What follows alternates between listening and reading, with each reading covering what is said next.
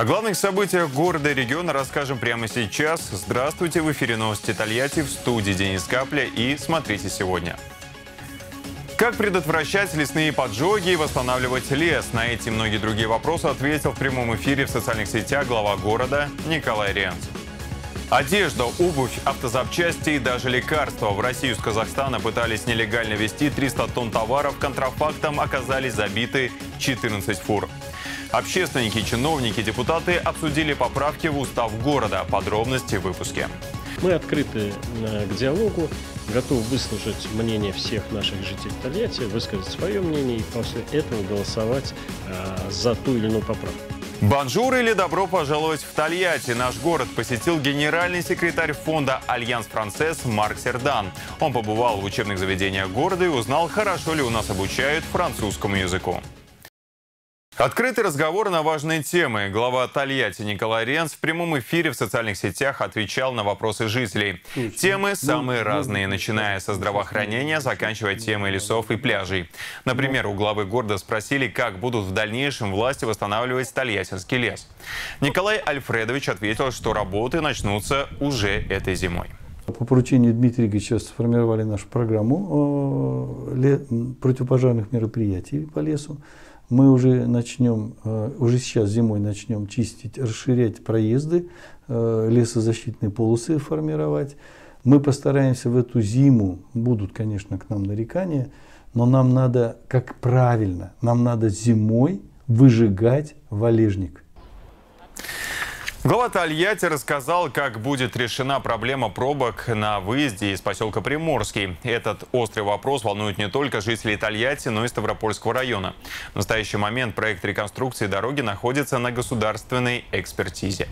У нас в экспертизе проект реконструкции этой части дорог. Мы закончили переговоры с собственниками, там вокруг же частные земли. Мы закончили переговоры с собственниками, договорились. И э, в следующем году мы планируем в январе, ну, в идеале думали в декабре, если получится, будет в декабре, но, по крайней мере, в первом квартале, в начале следующего года разыграть контракт на реконструкцию этой части дороги, э, он где-то в пределах 160 миллионов, расширение, дополнительная полоса. Николай Ренс также заявил, что в следующем году планируется реконструкция итальянского пляжа. Полную версию интервью вы можете посмотреть в социальных сетях. В Тольяттинской думе прошел первый из круглых столов, на которых обсуждаются поправки в устав города. Участники встреч, а это представители администрации, думских фракций, а также общественники и журналисты, обмениваются мнениями относительно изменений, которые обусловлены в основном изменениями и в российском законодательстве. Все-таки мы живем в правовом государстве, и если федеральные законы приняты, они должны быть. И федеральный закон обязывает принять соответствующее решение, мы, как исполнители, обязаны принимать. Напомним, что ранее в городе уже прошли общественные слушания по поправкам в устав. Наиболее острые вопросы касались теплоснабжения и городского леса. К этим темам вернуться в ближайший понедельник. Изменения в уставе также предусматривают подачу предложений граждан на публичные слушания через сайт госуслуги и по электронной почте. Ранее это нужно было делать письменно. Таким образом, общение жителей с представителями власти станет проще. При этом сами общественные слушания и голосование на них будут проходить только в очной форме.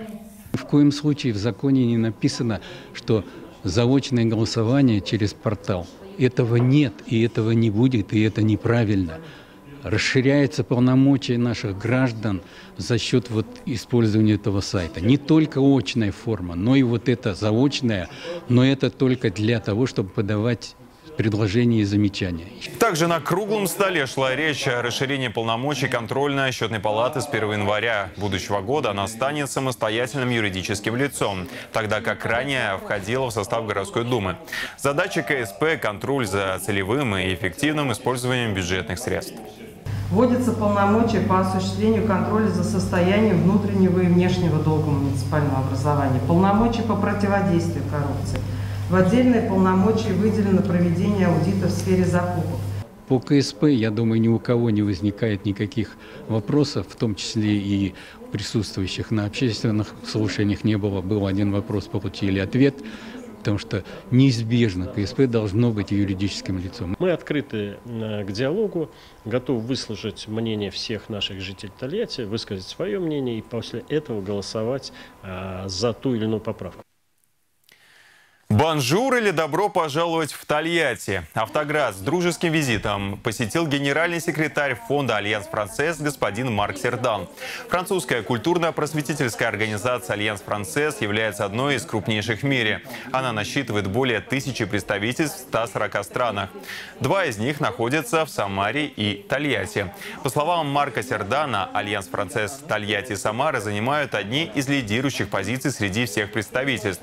К слову, это всего второй визит господина Сердана в Россию, первый в Тольятти. Гость из Франции восхищен нашей страной и о чем он с удовольствием рассказал нашей съемочной группе.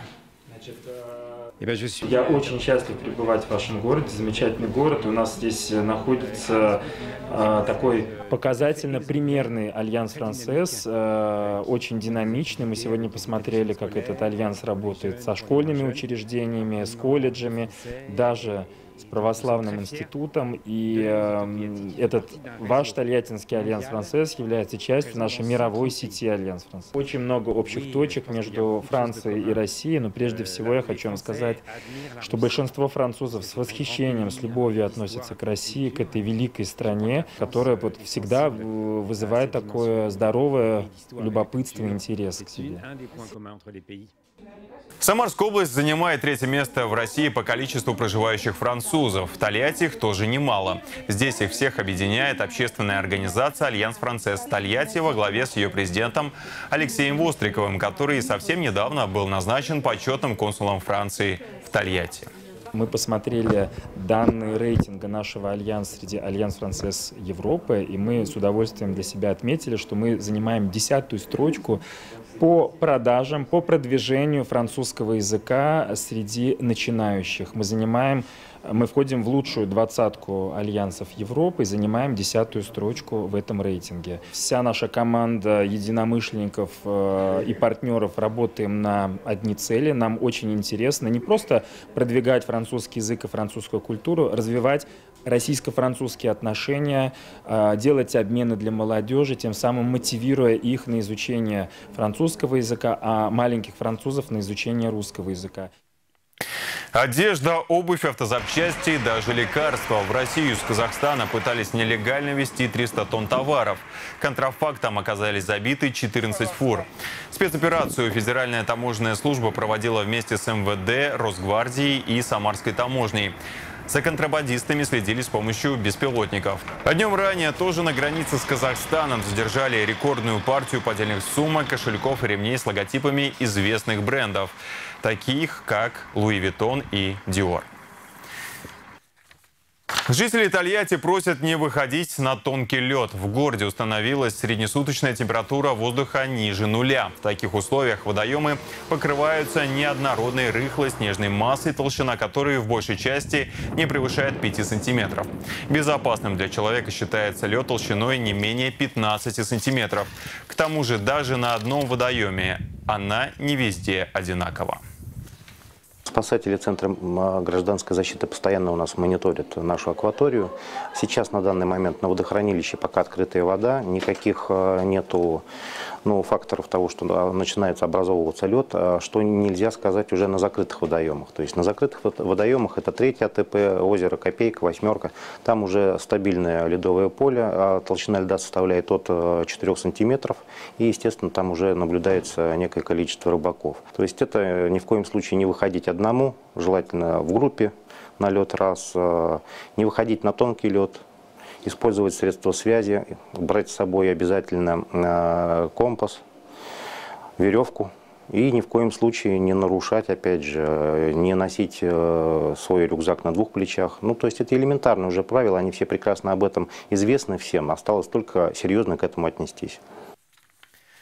Самара, Тольятти, а теперь и Чапаевск. Все новые города присоединяются к акции «Единый день вакцинации». Сотни жителей региона используют эту возможность, чтобы получить иммунитет к коронавирусу.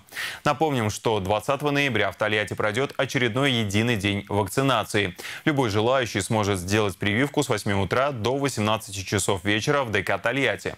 С собой необходимо иметь документ, удостоверяющий личность. Чапаевск встречает единый день вакцинации. Пространство местного дворца культуры организовано так, чтобы множество людей могли быстро и безопасно сделать прививки. Волонтеры помогают заполнить документы, врачи проводят предварительный осмотр.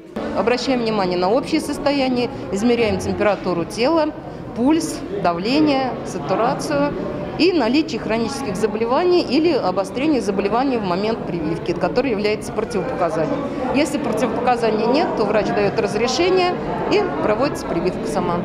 Горожан принимают сразу шесть врачебных бригад. У меня многие переболели очень сильно, которые не делали прививку, а которые сделали в легкой форме, как обыкновенные ОРЗ. И поэтому я считаю, что это надо и должны все делать.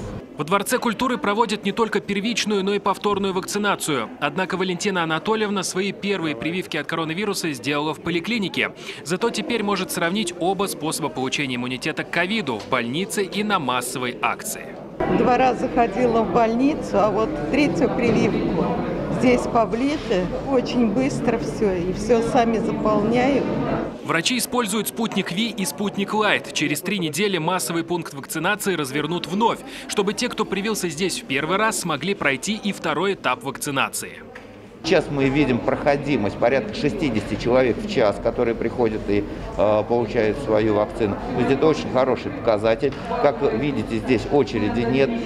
Примерное время э, получения вакцины от момента э, захода человека на пункт и до момента его выхода со всеми процедурами, в том числе и на поствакцинальном наблюдении, не превышает 30 минут.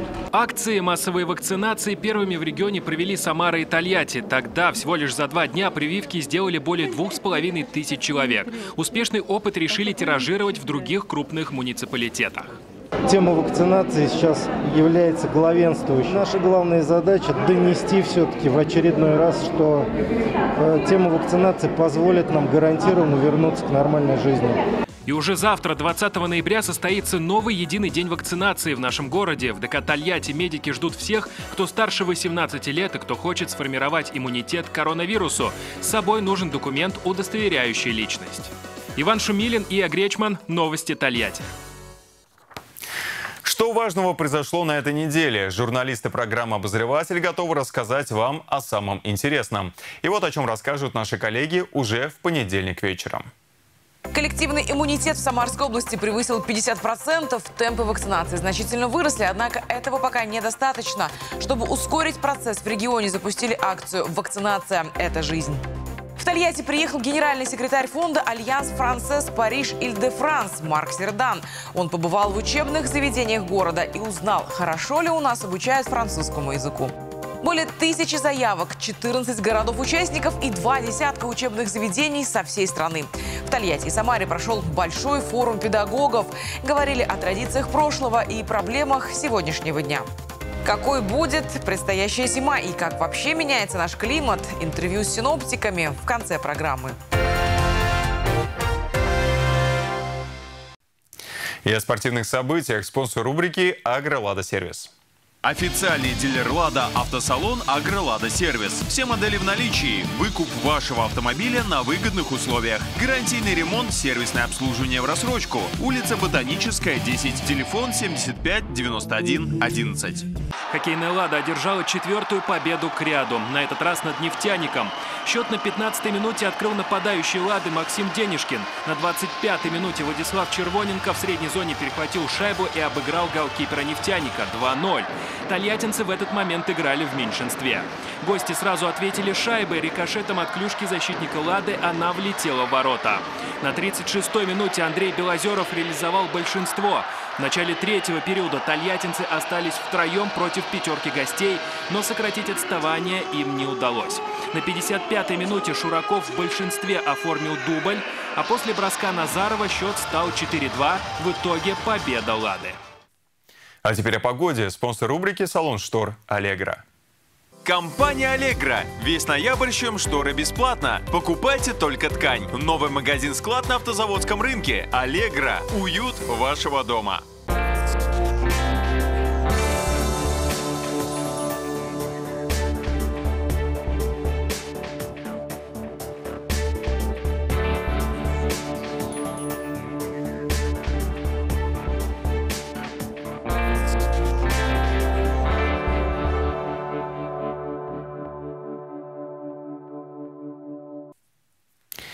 Еще больше новостей вы найдете на нашем сайте tvtaliati24.ru.